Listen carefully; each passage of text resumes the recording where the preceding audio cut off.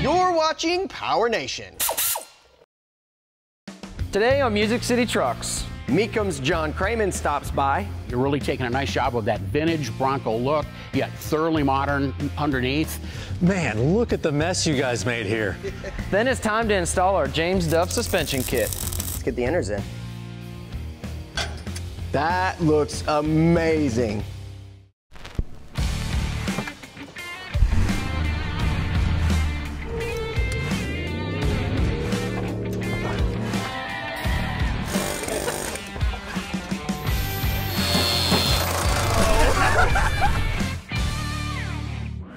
Welcome to Music City Trucks. I'm Brandon Burke. And I'm Mark Christ. And as you can see, we're back on our 1974 Bronco project. The last time you saw this thing, we got this beautiful body assembled with the help of some nice sheet metal from Dennis Carpenter and also our Carolina CTR 9 spot welder. We're really happy how it turned out, but we've got to have some components in there to make this thing move. And the cat's out of the bag now. You can see we've got a bunch of components here on the floor that we've picked. We're going to talk about why. And to help us out, we got our friend here, John Kraman from Mecum Auctions. We're going to talk about why we chose some of these parts and the future of our Bronco.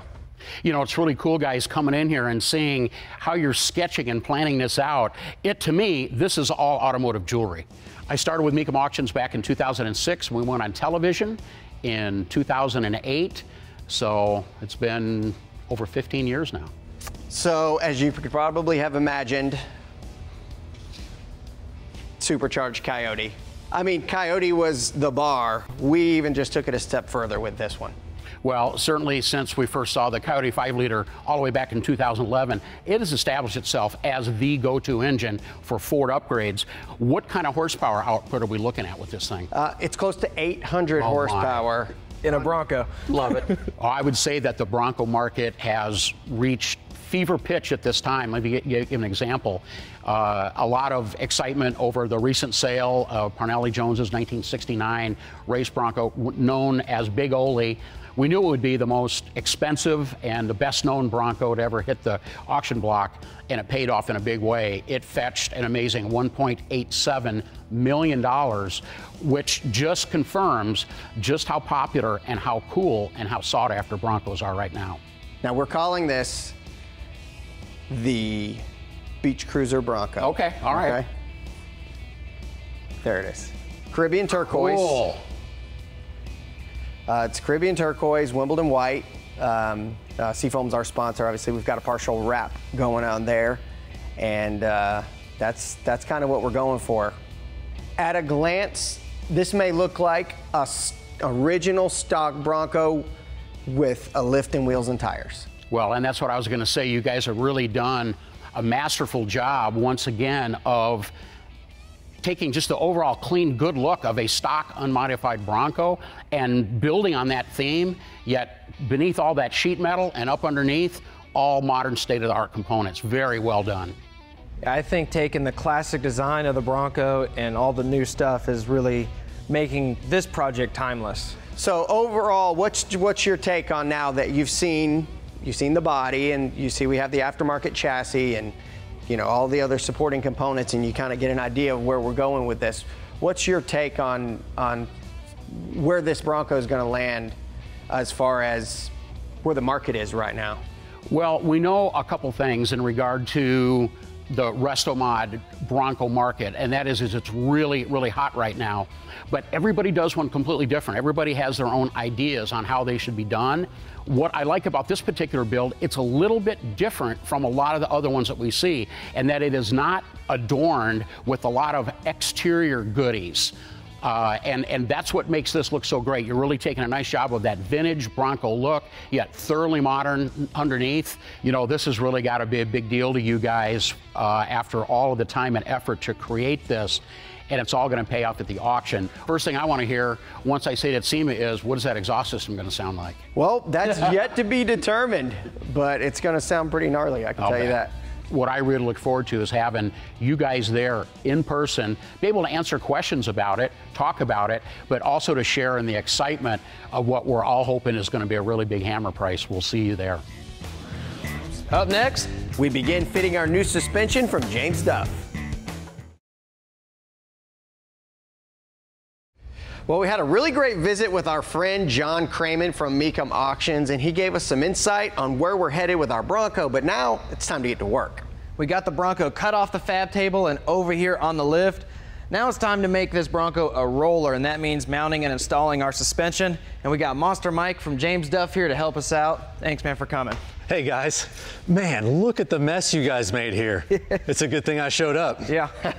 All right, so when looking for a suspension, we wanted something that would go fast, go slow, and go anywhere because it is a beach cruiser Bronco. So what did you bring us? Well, Brandon, this is the Dual Sport Monster suspension system from James Duff. And what does this kit actually consist of? Well, this is the high performance package, and it's for a two and a half inch lift for an early Bronco.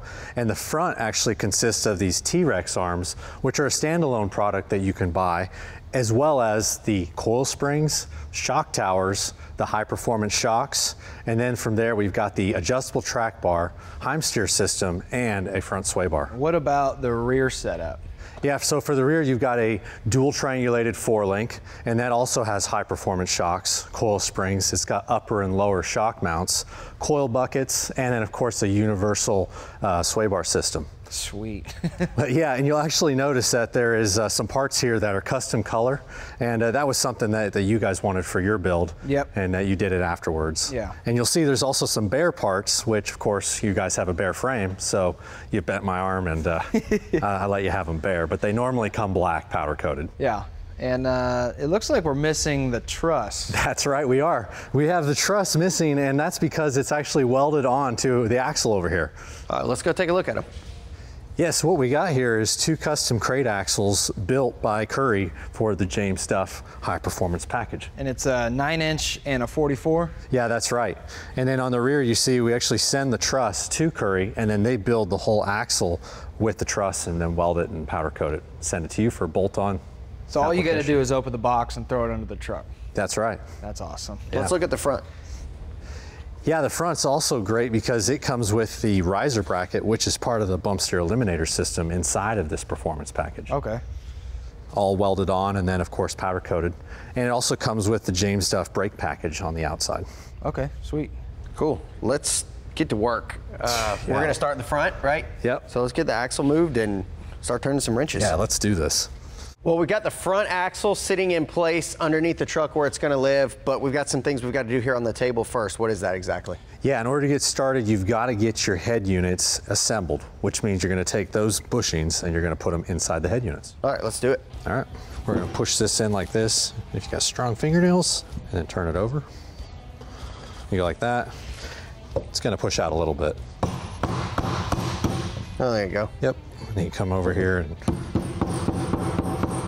finish it off. Now we have to go and lubricate the C bushings. It has to be 100% lubricated on the inside and out, not the sides. And the reason why we use dish soap is because as it dries out, you can just spray it and then the water rehydrates it and then And then it's easy to clean off. it is. When it's done. Yep. Yeah. When you wash your truck for the first time, it all just disappears. Okay, so what do we need to do here? What do we start with? All right, so we've got our soap and we want to go ahead and start coating this part of the axle. And that way there's lubrication on every surface that the C bushing touches. All right. All right. Now, this next point is absolutely critical. Uh, there's a top and bottom to the C bushing, and that's how you get the right degree, you know, how it pivots Right. on the axle. So here it says, um, here, here it says front bottom, and then if you turn it over, it says rear bottom. Okay. So on yours, front bottom goes I see. down. I see. I see. Yep. Okay. And now we take our starter bolt with the washer, Okay. and it doesn't matter what hole you start with, just go ahead and start threading it in. So these are the actual bolts that go in, and they come with a lock washer. Right. Now, we're not going to use a lock washer because the bolts are going to come back out again, and we don't want to damage the powder coat. Right. So you just put one in there and get it started. Oh, I see why we use those because you wouldn't be able to get these started without those. That's right, they're All too right. short. Okay. So now we can run these in. Yep. We're going to actually install a radius arm now, and uh, we'll do the other side as well. Guess these are the T-Rex arms. Wow, that was graceful. Thank you. Ooh, What? that looks cool. Okay. There you go. All right, now you have to do the other side, and then we start Measuring. uh, tightening up the seat Yeah. caps. Okay, let's do it. Yep, right on it now. Now, while that's sitting on the ground, is that when you tighten these in? That's right. Slow and easy is the way.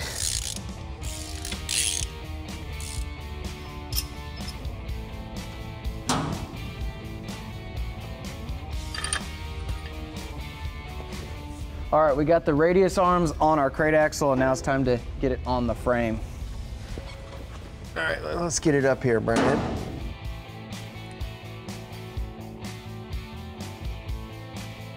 So these are pretty beefy coil retainers. You know what's really nice about this whole system is that you can use it with an aftermarket frame or a factory frame, and everything just bolts in as long as your coil buckets are in the factory location. Okay, that's pretty cool. All right. Keep going. All right, stop.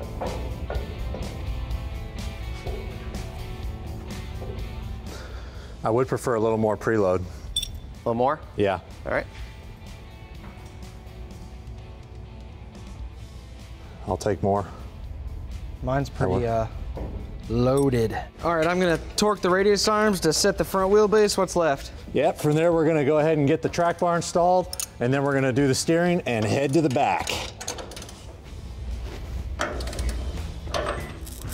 Up next, our four link is starting to fall into place nicely. That'll hold it up. We're making some great headway on our Bronco here. We went ahead and got the wheels and tires on the front and down on the ground, which is very exciting because you kind of start to see how this thing's going to look. Uh, we got the adjustable track bar in, so that centered the axle left to right where we want it.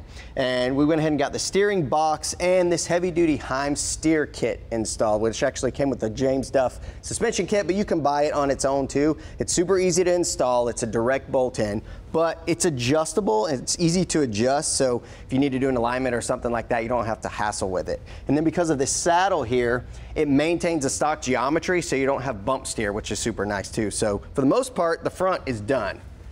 All that's left is going to be install the shocks and the shock towers and then the sway bar as well. But all of that stuff can wait till the end after we get the rear installed, which we're getting ready to do now. Yeah, we have stock wheelbase set at 92 inches, and the first thing we're gonna do is install these lower coil mounts onto the axle. All right, so while Brandon installs the lower coil retainers, next we're gonna put these coil buckets in place, and these actually get welded onto the frame. We're gonna use this plumb bob here. We're gonna get it perfectly centered over the lower coil retainer, and then we're gonna weld it. After that's done, then it's time to mount these frame brackets, and that's gonna get your links, upper and lower, onto your truss, which is already welded onto the axle. Hold that. And then you watch it here and center it while I get it tight. Just kind of throw that C clamp on there, give me a little bit of pressure.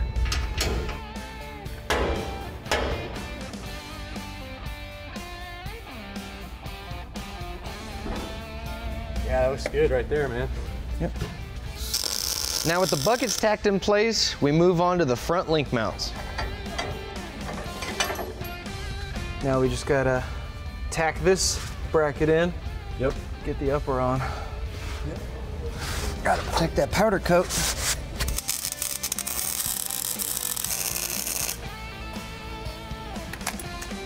This is why I love four links. The lower links set the wheelbase and the upper links determine the pinion angle. And this install is pretty simple because our crate axle was already complete with the truss and mounts.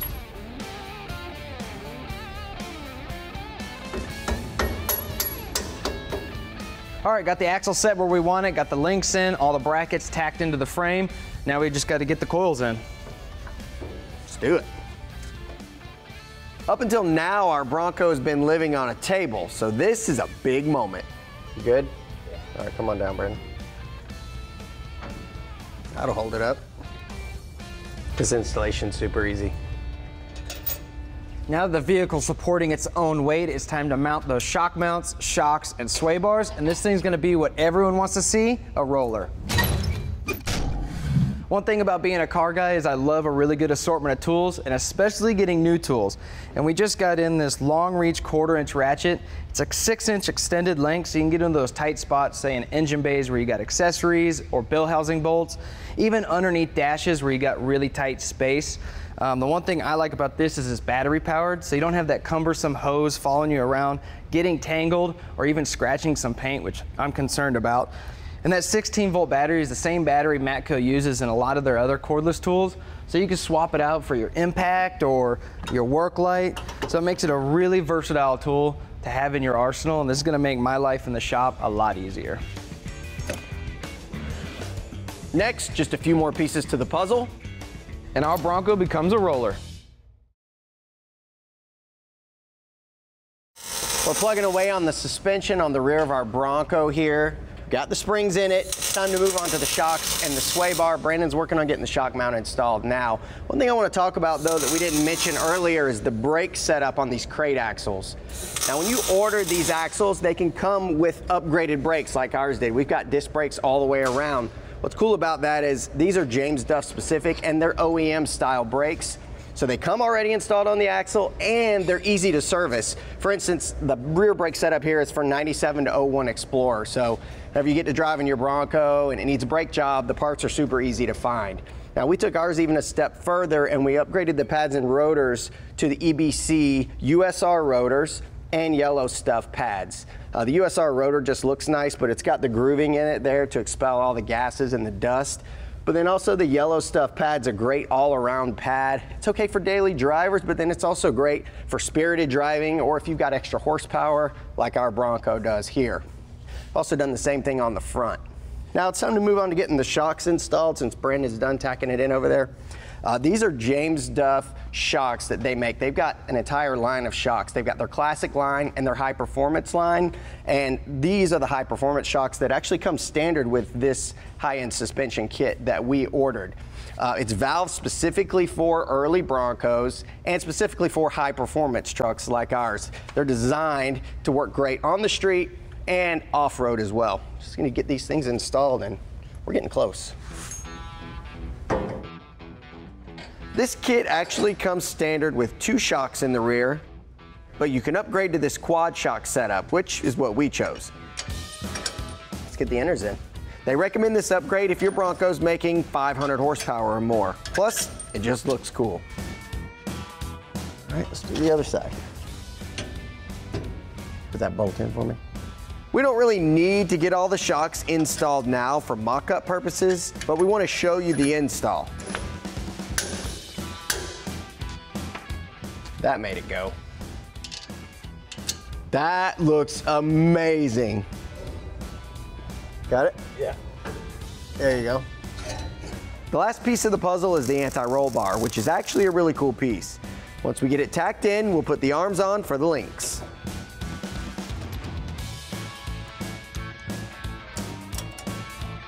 Look at that. All right.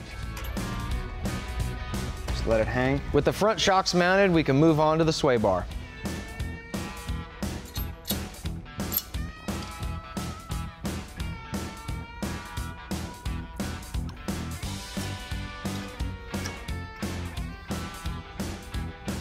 You know, I'm against roll, body roll, Really? but I could be swayed.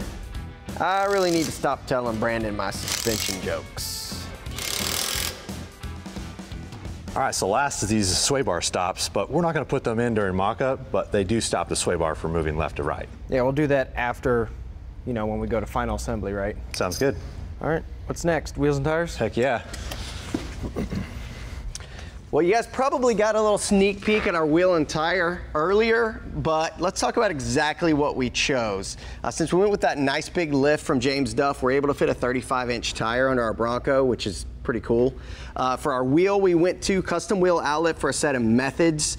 Uh, methods are kind of the go-to nowadays. They're the modern version of a classic wheel. This is a cast wheel. This is a 305 NV, so it's actually an off-the-shelf wheel, but it looks really nice. It's got a matte black lip with a machine face. And then for our tires, General Grabber X3. This is the latest version of the mud terrain from General. And it's really great because it's got dirt, mud, and even rock capabilities, uh, but it's also good on the street because it's got a multi-pitch pattern tread. It makes it quiet when you drive it on the street. And then also it's got the siping to help remove the water. So it's even fine to drive on wet roads.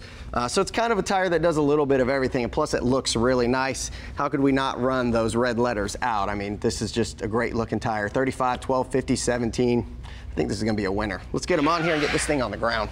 So with the wheels and tires finally going on, we're calling it a wrap. Well, Monster Mike, thanks for coming out, bringing these two Broncos to get some inspiration, providing us with the suspension that we got installed.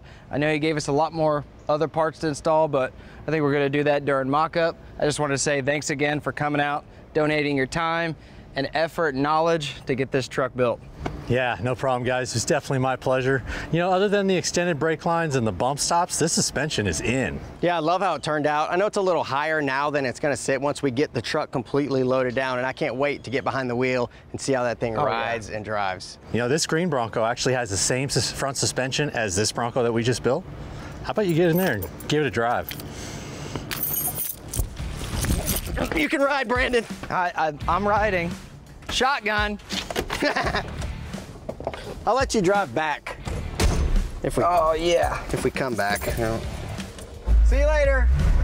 Bye. Till next time on Music City Trucks.